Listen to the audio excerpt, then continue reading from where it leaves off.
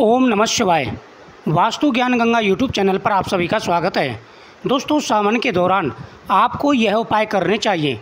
इन उपायों को करने से धन, संतान, सुख, सौभाग्य की प्राप्ति होती है। सावन के दौरान भगवान भोलेनाथ की पूजा अर्चना का विशेष महत्व बताया गया है। मान्यता है कि सावन के इस पवित्र महीने में भगवान शिव को बेलपत्र चढ़ाने से भक्तों के सभी कष्ट दूर हो जाते हैं और घर में सुख शांति, समृद्धि का वास होता है। धन, वैभव और सुख शांति के लिए सावन मास में आपको यह उपाय ज़रूर करने चाहिए। जिन महिलाओं को संतान का सुख नहीं मिल पा रहा है, उनको भी सावन के महीने में भगवान शिव का पूजन करना चाहिए। सावन के महीने में महिलाओं को घर में साफ़ सफ़ाई का विशेष रूप से ध्यान रखना चाहिए। सावन के महीने में आप क्रोध ना करें, घर में कोई भी तामसिक चीज़ नहीं बननी चाहिए। सावन के महीने में धन प्राप्ति के लिए नियमित रूप से महाकाल भोलेनाथ की पूजा करनी चाहिए। ऐसा करने से व्यक्ति की सभी मनोकामनाएँ पूरी हो जाती हैं। दोस्तों, नंबर एक।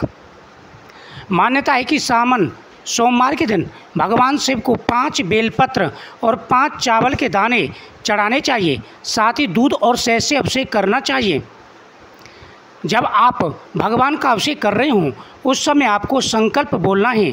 फिर आपको पाँच चावल के दाने, पाँच शिवलिंग शिवलिंग पर पाँच बेलपत्र के साथ में चढ़ाने हैं। इससे भोलेनाथ प्रसन्न होकर के मनवांचित फल प्रदान करते हैं।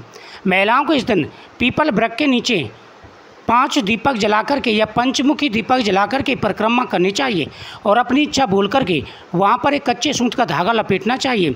जिन महिलाओं को संतान का सुख नहीं मिल पा रहा है या जिनके धन में बरकत नहीं हो पा रही है, कर्ज बढ़ता जा रहा है, उनको अवश्य ही यह उपाय करना चाहिए। दोस्तों, नंबर दो।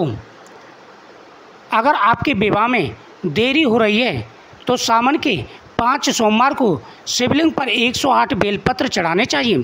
बेलपत्र अर्पित करने के बाद में भगवान शिव के सामने ओम नमः शिवाय मंत्र का जाप करना चाहिए। माता पार्वती और भगवान शिव को एक मोली का धागा सात बार या तीन बार लपेटना चाहिए। ऐसा करने से घर में भरपूर धन आता है।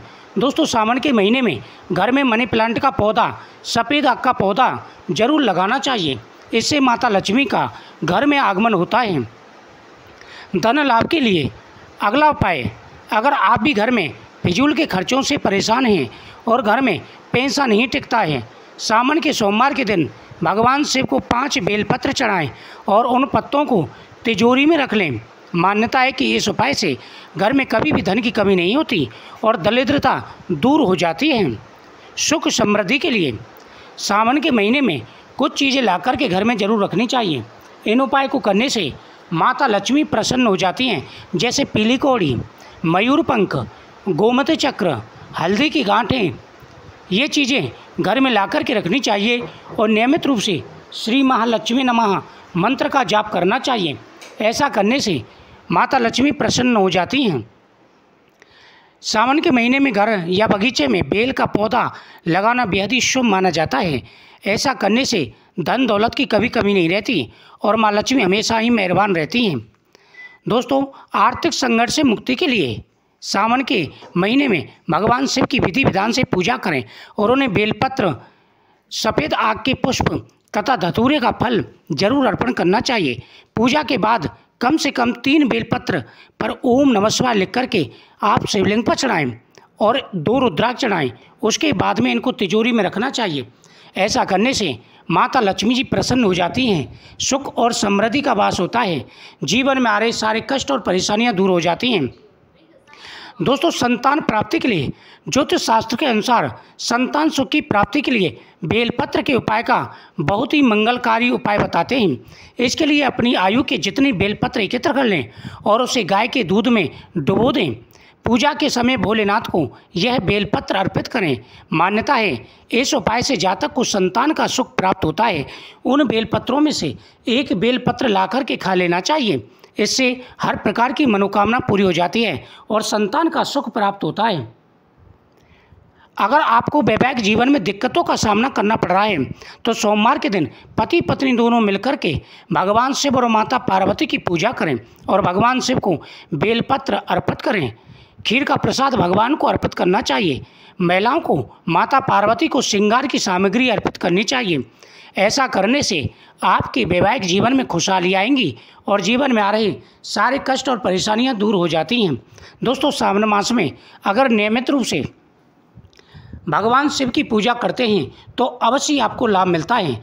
जिन महिलाओं को संतान का सुख नहीं मिल पा रहा है, वह अपनी आयु के हिसाब से बेलपत्र और उतने ही चावल के दाने लेकर के भगवान शिव के सामने आप किसी प्लेट में रख दें। फिर ओम नमः शिवाय मंत्र का जाप करते हुए आपको संकल्प करना है। ग्यारह लौंग भी उसमें डाल देनी है। अब ये सारी सामग्री ओम नमः शिवाय मंत्र का जाप करते हुए शिवलिंग पर समर्पित करते जाना है। साथ ही अगर आपको सफ़ेद आग पुष्प मिल जाते हैं तो वह भी चढ़ा दें। उसके बाद में शिव चालीसा का पाठ करना है। उसके बाद में आप एक बेलपत्र और ग्यारह चावल के दाने उठा लें। इनको आपको खाना है। ऐसा करने से संतान का सुख प्राप्त होता है।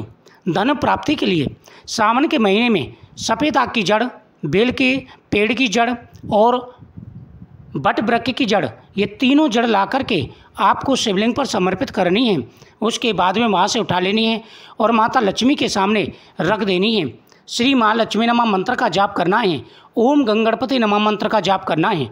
उसके बाद में पीले कपड़े में बाँध करके इनके तिजोरी में रख देना है। ऐसा करने से घर में कभी भी धन की कमी नहीं रहती। धन की वृद्धि के लिए, कर्ज और दूर को दूर करने के लिए, इस सामान के साथ में आपको पाँच पीली कौड़ी, पाँच गोमती चक्र, पाँच कमलगट्टा भी मिला देने चाहिए। अब इन सामान को आप घर में रखें या व्यापार स्थल पर रख दें।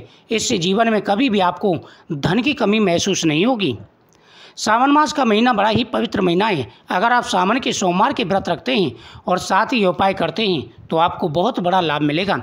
अगर आप व्रत ना करें, तब भी आप उपाय कर सकते हैं। इससे आपकी हर मनोकामना पूरी होगी। सावन के महीने में धन प्राप्ति के लिए यह उपाय बेहद ही चमत्कारी और प्रभावशाली हैं। जो महिलाएँ पुरुष, इन उपायों को करते हैं, उनकी नौकरी में प्रमोशन मिलता है, घर में धन आता है, सुख और शांति रहती है। जीवन में कभी भी कोई कष्ट नहीं होता। सोमवार के दिन गौमाता का पूजन करना चाहिए। सोमवार के दिन नंदी जी के कान में अपनी इच्छा बोलनी चाहिए। जब भगवान शिव की आप पूजा कर रहे हो, उस समय नंदी जी के कान में अपनी इच्छा बोल देनी चाहिए। ऐसा करने से मनोकामना पूरी हो जाती है। सोमवार के दिन पीपल वृक्ष के नीचे दीपक जला करके अगर कच्चे सूत का धागा लपेटते हैं और जो इच्छा बोलते हैं, वह इच्छा शीघ्र ही पूरी हो जाती है। साथ ही बेल का जो पेड़ होता है, बेलपत्र का उस पर भी आपको एक धागा बाँध देना है। वहाँ पर दो हरी चूड़ी बाँध देनी है। ऐसा करने से अटल सौभाग्य प्राप्ति का वरदान मिलता है और माता पार्वती प्रसन्न होकर के सुख समृद्धि का आशीर्वाद देती हैं। दोस्तों, सोमवार के दिन जो महिलाएँ सिंदूर माता पार्वती को अर्पित करती हैं, श्रृंगार के साथ में और चूड़ियाँ अर्पित करती हैं उनको अटल सौभाग्य प्राप्ति का वरदान प्राप्त होता है। सोमवार के दिन अभिषेक करने से भगवान से प्रसन्न होकर के घर में सुख और समृद्धि का वास करते हैं। जीवन में आ रहे सारे कष्ट और परेशानियाँ दूर हो जाती हैं।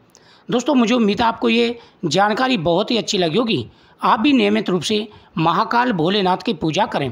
भोलेनाथ प्रसन्न होकर के आपकी हर मनोकामना पूरी करेंगे। घर में सुख और समृद्धि का वास होगा। संतान का सुख मिलेगा। ओम नमो भगवते वासुदेवाय नमः। ओम नमः शिवाय।